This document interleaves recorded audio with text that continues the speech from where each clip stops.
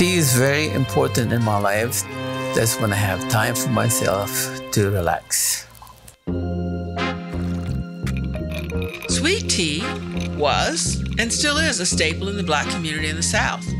My childhood was a blend of these two lands. My father, an Arab Muslim from Libya, and my mother, an African American Catholic from the southern United States. Tea was a big deal in my family, and it was the beverage of choice at every occasion. But I've always wondered if the two were connected.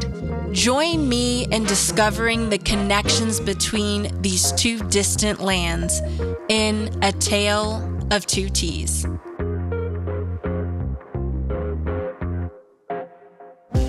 Our tale begins in Libya, the fourth largest country in Africa. Ancient sites, bustling city life, and artisans making their infamous Shahi al Ala tea sets.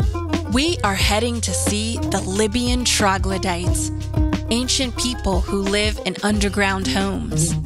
Welcome to Gharyan, Libya, where tradition is literally underground. Here, the troglodytes live in cave homes and have perfected the art of tea making over centuries. The process begins with loose leaf black tea, also called red tea, added in the kettle. Libyan tea is served in three rounds, each taking about 20 to 30 minutes. This gentleman was born in this cave, and the higher he pours the tea over and over, the more respect it shows. The goal is to create a frothy foam known as regwa that tops the tea. But what did my mom think when she tried Libyan tea? One of my favorite experiences with Libyan tea was when we went to see the troglodytes. Surprisingly, the foam on top was really refreshing, even though it was hot tea. For my father, Libyan tea was a cherished memory. My mom, she'd sit there, you know, start making the, the traditional Libyan tea. To me, it used to be a, a very special moment, you know, to spend with, uh, with, my, with my dad uh, and my mom. I know they're gone now, you know, but it, their memories always be there, and those moments. Uh,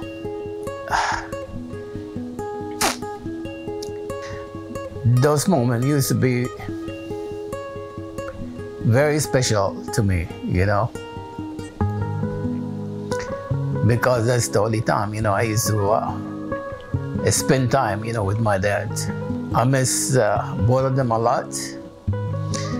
And that's why, you know, sitting down and drinking the tea used to be very special, uh, you know, to me. It's a, it's a memory is gonna, you know, always be in my mind and in my heart. In Libya, tea is more than just a drink. It's a ritual that's steeped in history, tradition, and connection. It's about spending time with your family. But how does this tradition connect to the sweet tea of the American South? Let's find out. Nothing says Southern hospitality more than an ice cold glass of sweet tea.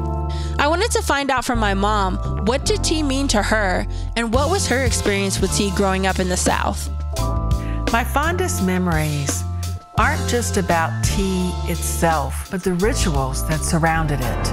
Every Sunday afternoon, after church, we would go to my grandmother's house. We fondly called her Big Mama.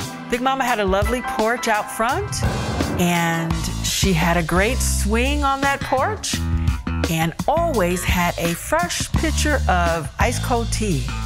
And if you were really good, or her favorite grandchild, as I often was, she'd let you sit on that swing with her. So I have such wonderful memories of sitting out on the swing, swinging back and forth next to my grandmother, and sipping on a glass of ice cold tea. And what was my dad's experience with sweet tea?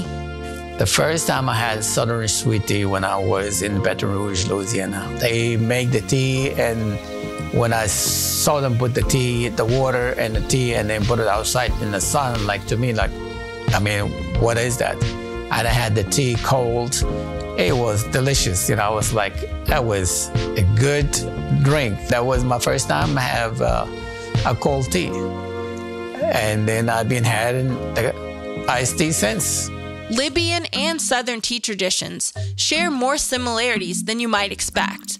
Both were originally served hot and symbolize hospitality. But the most interesting connection is historical, and it starts in North Africa in the 7th century, when Arab and Islamic traders spread tea, sugar, and the custom of sweetening drinks throughout the Middle East, North Africa, and eventually to Europe. Arabs introduced Europeans to sugarcane growing and sugar making. Sugar became incredibly valuable and had the nickname white gold due to its high cost. European countries needed cheap labor to make sugar less expensive, and this fueled the transatlantic slave trade. Yep, you heard that right.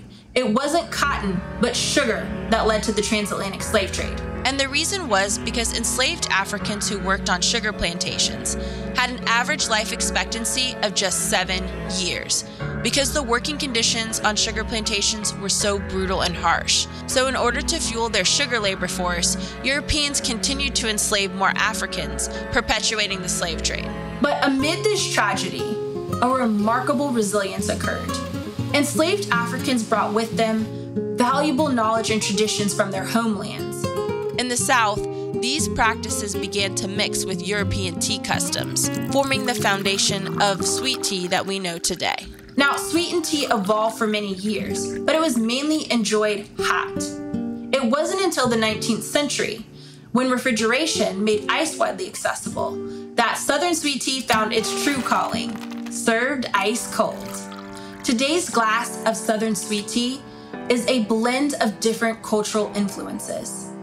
From ancient Arab sugar growing to African herbal wisdom to European colonialism, all are a part of its history, both bitter and sweet. Understanding the complex story of this simple drink reminds us of the profound impact of cultural exchanges, even those born from the worst chapters of human history. Tea is the story of all of us, our history, revolution, resilience, all in one sip.